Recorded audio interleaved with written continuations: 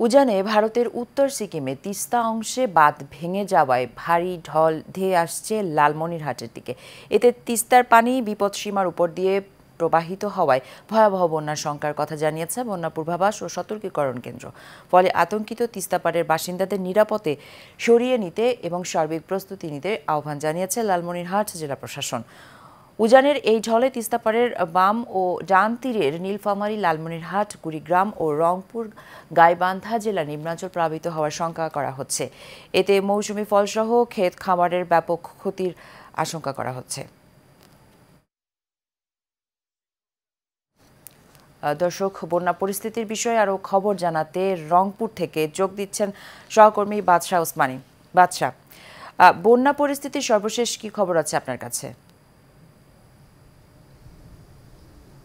সুবর্ণা, আপনি যেমনটি বলেছেন যে উত্তরের পাঁচ জেলায় কিন্তু এই ভারতের উজান থেকে পানি আসার কারণেই কিন্তু এই যে বন্যার যে সৃষ্টি হয়েছে, আমি যেখানে দাঁড়িয়েছি গঙ্গাচড়ার এটা কিন্তু লক্ষ্মীটারি ইউনিয়নের দুই নম্বর ওয়ার্ডে কিন্তু আমরা এখানে দেখতে পাচ্ছি যে আপনি আমার পেছনেই দেখেন যে এখানে কিন্তু একটি বসত বাড়ি ছিল বাঁধের উপরেই।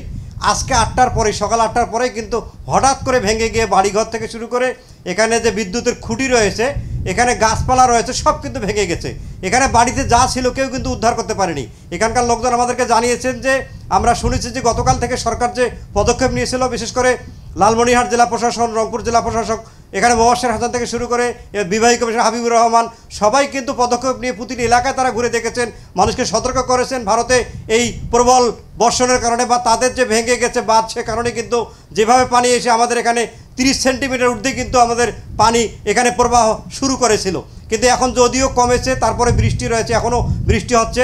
এখানকার মানুষ কিন্তু তারা বিপাকে পড়েছে। যদিও গতকালকে জেলা প্রশাসনের পক্ষ থেকে প্রতিটি জেলা, এখানে পাঁচ জেলায় সতর্ক অবস্থায় তাদেরকে রেখে এখানকার লোকজনকে সরে নিয়েছেন।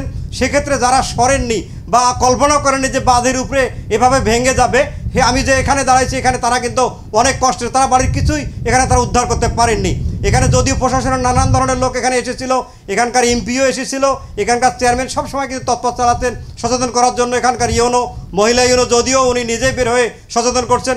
অনেক বিষয় করার পরেও কিন্তু আমরা দেখেছি যে উজান থেকে পানি আসার কারণে কিন্তু আপনি দেখতে পাচ্ছেন যে বাঁধটি কিন্তু ভেঙে কিন্তু একেবারেই পানির সাথে মিশে গেছে।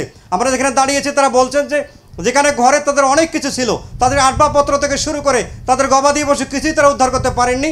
এখানে কিন্তু পানির তোলে ভেসে গিয়েছে। যদিও এই মুহূর্তে পানি কমার, আমরা লক্ষ্য করছি পানি কমতেছে পানি উন্নয়ন বোর্ড থেকে। আবহাওয়া অফিস থেকে যদি বলা হয়েছে যে, যদি বৃষ্টির সম্ভাবনা রয়েছে আমাদের দেশে, কিন্তু বৃষ্টির কারণে কিন্তু আমাদের ক্ষতি হয়নি। তবে আরও এখানে ক্ষতি যেন না হয়, সেক্ষেত্রে প্রশাসনের তৎপরতা রয়েছে। সুবর্ণা। বাদশাহ, আপনাকে ধন্যবাদ। দর্শক, রংপুর থেকে বন্যা পরিস্থিতির খবর জানাচ্ছিলেন সহকর্মী বাদশাহ ওসমানী।